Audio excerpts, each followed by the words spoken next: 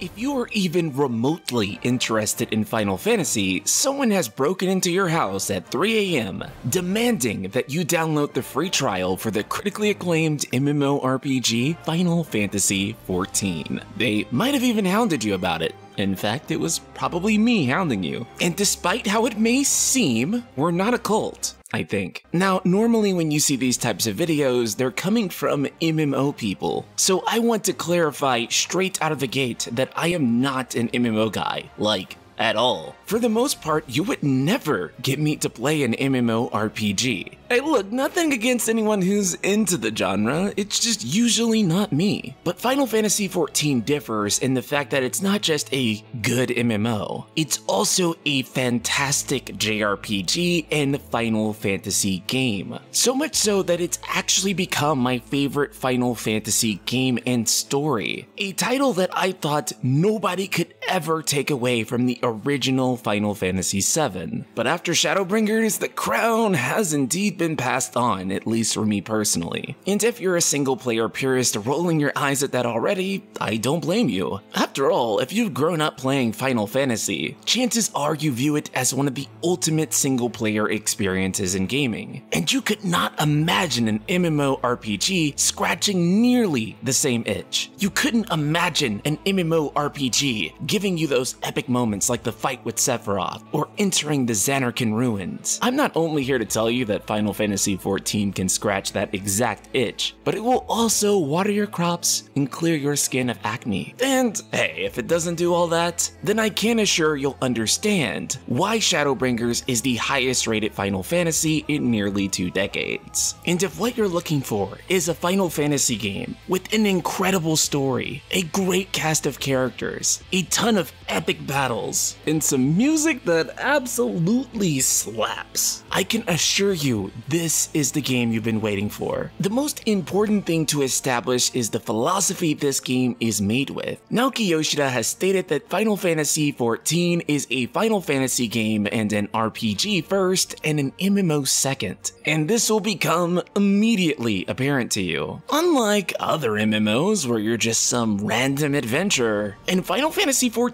you are the Warrior of Light. Your character is the protagonist in the same way Cloud Strife is the protagonist of Final Fantasy VII, or Tidus is the protagonist of 10, satisfying your narcissistic need to have the entire world revolve around you. Your role is indeed empowering, putting you at the center of one of my favorite Final Fantasy stories of maybe all time. And I get it, while the promise of an amazing story tempts you, you find yourself outright disgusted by having having to work with other human beings. So your immediate question will be, how much of this can I solo? Here's the answer. For the most part, you can complete the entire main story without having to ever directly interact with another human being. In fact, most of the main story is single player anyways. The only time you do have to play with others are during dungeons, known as duties, and boss fights, known as trials. And no, you won't have to be in chat, interacting with them, making friends, or any of that awful behavior. The game has an automated matchmaking system, so you don't need to know anyone. You show up, you perform your role, and that's it. But let's suppose you have a little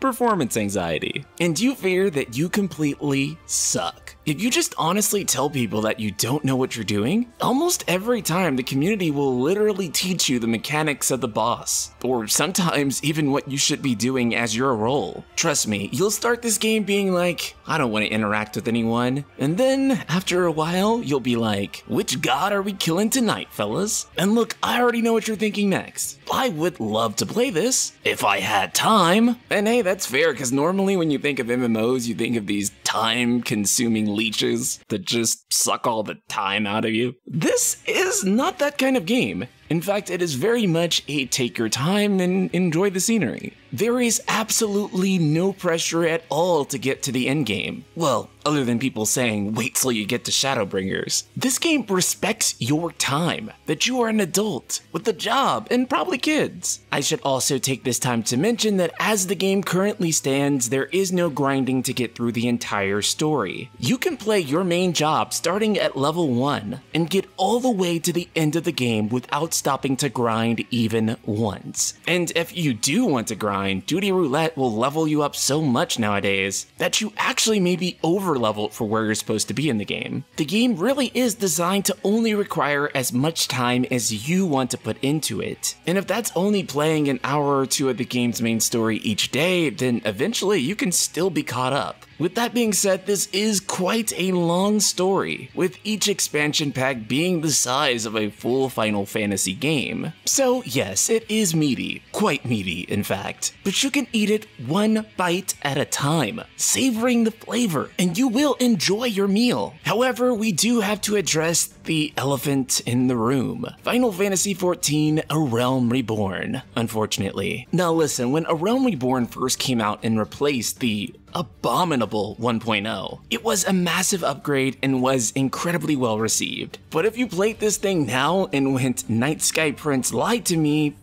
is boring, I'd kinda understand where you're coming from. I think that A Realm Reborn is by no means bad. It just does not reflect how amazing the later game is. And for an introductory chapter to an MMO, it's still pretty decent. The vast majority of Final Fantasy XIV story is voice acted, and has pretty decent cutscenes. However, this is not the case in A Realm Reborn, and in fact, a lot of these voice actors don't even voice their respective characters anymore. In fact, it's somewhat jarring to even go back and hear them. Because of this, it can make A Realm Reborn drag even more. However, trust me when I say stick with the game. You will be paid off greatly. However, if you are looking for the incredible story and all the stuff that I mentioned before, you'll want to get off A Realm Reborn as soon as possible. And it's relatively easy to do. Stick to the main story quest. It's always posted in the top left corner. And of course, make sure that you're doing your job quest. So yes, even if you traditionally hate MMORPGs, but you're a really big fan of Final Fantasy and you're curious about trying 14, what you have waiting for you is one of the best experiences that the mainline series has to offer, and one I thought would have never ever become my favorite in this series. Yet through its extremely immersive world, its incredible music, its story with some of the most top tier writing I've ever seen, its incredibly endearing characters, and honestly, playing with you guys makes this Final Fantasy something that that is truly special. So download the trial before I have to bust into your damn house. Shout out to Mr. Archer and the rest of the Ultima community.